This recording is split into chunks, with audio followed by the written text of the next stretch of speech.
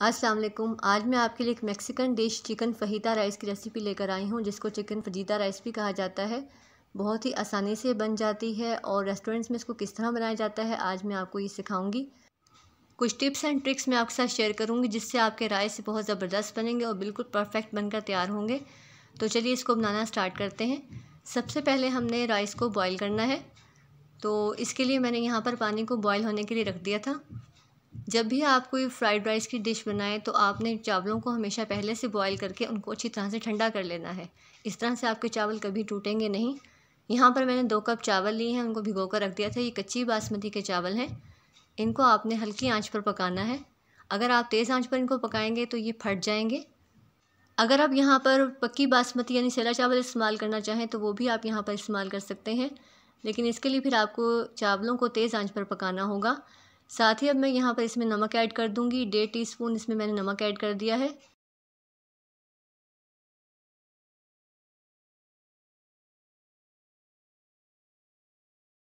चावल बॉईल होने का कोई एग्जैक्ट टाइम नहीं होता, इसलिए हम इसको चेक करते रहेंगे। यहाँ पर देखें मैंने पहले चावलों को चेक किया है। तो अभी जो इसका दाना है, ये काफ़ी मुश्किल से टूट रहा है। इसका मतलब है कि अभी चावल हमारे सही तरह बॉयल नहीं हुए। हमें तकरीबन eighty five to ninety percent तक बॉयल चावल चाहिए, यानी जिसको कहते हैं कि एक कनी रह जानी चाहिए। चावल में कसर हो एक कनी की, इतना हमने चावल को बॉयल करना है। अब यहाँ पर देखें, मैं चावल को चेक कर रही हूँ।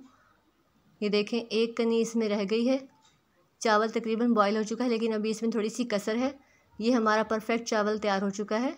अब हम चूल्हे को बंद कर देंगे और चावलों को छान लेंगे और इनको ठंडा होने के लिए फ्रिज में रख देंगे। तो अब हम चिकन को मैरिनेट होने के लिए रख देते हैं। यहाँ पर मैंने 250 ग्राम बोनलेस चिकन लिया है और उनको स्ट्रिप्स की शक्ल में काट लिया है। सबसे पहले मैंने इसमें एक टेबल स्पून सिरका डाल दिया है। हाफ़ टी स्पून इसमें लहसुन पाउडर ऐड किया है। हाफ़ टी स्पून ज़ीरा पाउडर। हाफ़ टी स्पून नमक इसमें ऐड कर दिया है और वन टी स्पून इसमें लाल मिर्च पाउडर ऐड कर देंगे। साथ ही हम इसमें हाफ़ टी स्पून कुटी हुई काली मिर्च डाल देंगे। और अब हम इसमें एक टी स्पून औरिगेनो लीव्स डाल देंगे। साथ ही हम यहाँ पर एक टीस्पून पेपरिका पाउडर डाल देंगे और अब हम इसमें दो tablespoon cooking oil add कर देंगे। अब इन तमाम चीज़ों को अच्छी तरह से हम चिकन के साथ मिक्स कर देंगे। क्योंकि चिकन फजीता जो है एक स्पाइसी डिश है, इसमें हम मज़ीद स्पाइसेस भी ऐड कर सकते हैं।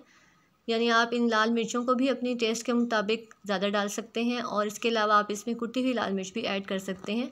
अब इन तमाम चीज़ों को अच्छी तरह से मिक्स करने के बाद चिकन को मैरिनेट होने के लिए हम तकरीबन 20 से 25 मिनट के लिए रख देंगे। मैरिनेट करने से मसाले जो हैं अच्छी तरह से चिकन के साथ एब्जॉर्ब हो जाएँगे और चिकन को गलने में भी आसानी होगी। जल्दी से ये कुक हो जाएगा। यहाँ पर अब आपने एक बर्तन लेना है, उसमें तकरीबन तीन से चार टेबल स्पून ऑयल डाल देना है। और अब आपने इसमें जो आपने मैरिनेट किया हुआ चिकन है, वो ऐड कर देना है। इसको आपने तेज़ आँच पर पकाना है। आपको इसको ढककर पकाने की ज़रूरत नहीं है, बस आपने इसको तेज़ आँच पर चार से पाँच मिनट के लिए तकरीबन पका लेना है।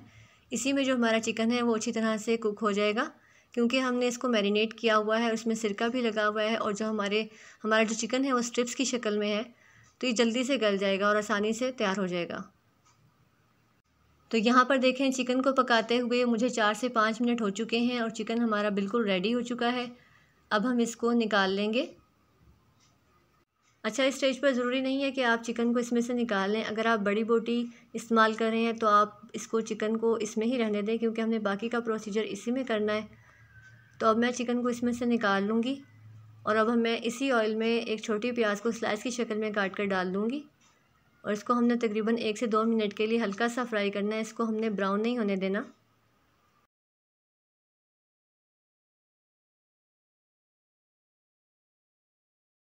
ये तमाम प्रोसीजर जो है आपने तेज़ आँच पर करना है और अब आप इसमें शिमला मिर्च काट कर डाल देंगे। शिमला मिर्च आपने मोटी काट कर डालनी है।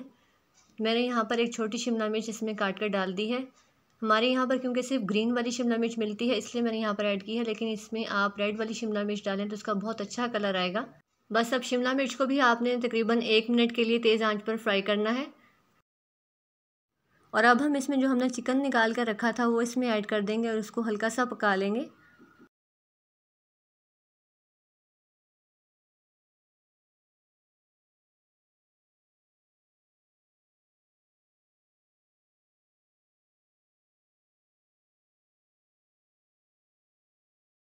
बस अब आप इसको एक से दो मिनट के लिए पकाएँगे और उसमें चावल ऐड कर देंगे। यहाँ पर मैं इसमें चावल डाल रही हूँ। तमाम चावल आपने इसमें नहीं ऐड करने।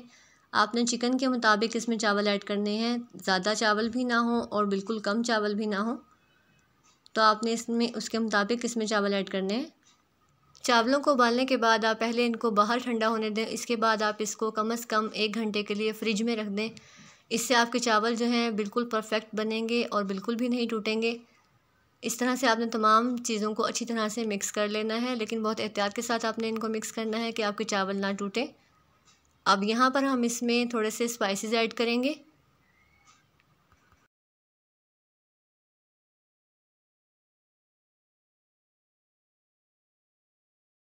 सबसे पहले मैं यहाँ पर हाफ़ टी स्पून कुटी हुई लाल मिर्च ऐड कर रही हूँ।